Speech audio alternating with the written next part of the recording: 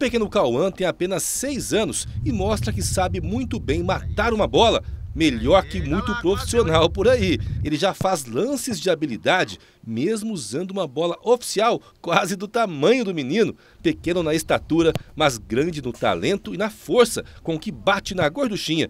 Há pouco mais de um ano, o pai foi alertado por amigos de que ele era diferenciado. Sempre eu vou jogar em algum lugar, alguém fala: pô, segura e joga, segura e joga e tal.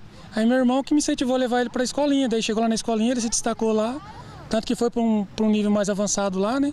Foi aí que eu descobri, mas no momento eu achava que era normal. Há um mês criou este Instagram para o menino. E aí, minha trocada, essa é para você, se joga.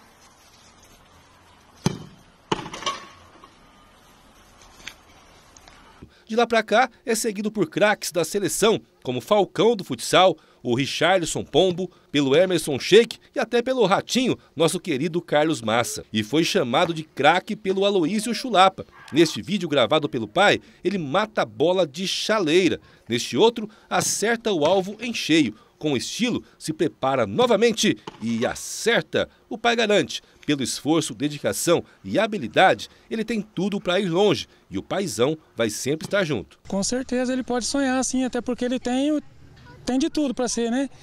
Principalmente incentivo do pai, né? Que isso aí é o que, desde quando eu me conheço por gente, conheci muitos que teve, tinha, né? Mesmo, mesma habilidade dele, mas só que não teve o incentivo do pai, que eu acho que é o principal, né? Olha, para quem não sabe, eu sou quase um tafarel!